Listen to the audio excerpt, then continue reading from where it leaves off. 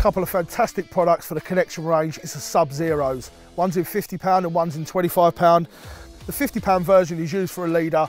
It's super, super soft, which means it will go over any terrain and it sinks like a brick. So whether you're fishing at close range, long range, whether you're fishing in the weed or whether you're fishing on gravel, it's gonna sit perfectly behind the rig, which is exactly what you want from a leader material.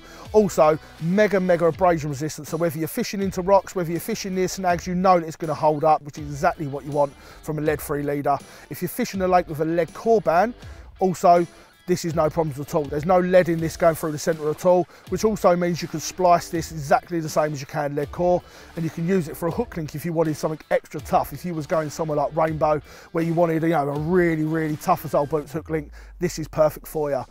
We've also got the 25 pound version, which is fantastic hook link material. Sinks like a stone, exactly the same as a leader, super abrasion resistant. With this one, you can splice it, you can knot it, it's so versatile. I love it with a multi-rig because you can just tie a knot in either end and you're ready to fish within literally a couple of minutes. But if you wanted to fish it as a leader material, you can as well, especially with like subtle PVA presentations. That's no dramas whatsoever. Or if you want to fish little short hook links to go inside a solid PVA bag, works perfectly as well. Great as a boom section if you want to fish it with a reverse hinge rig, for example, or any boom section where you just need that bit supple that goes onto another section, which is fantastic for it.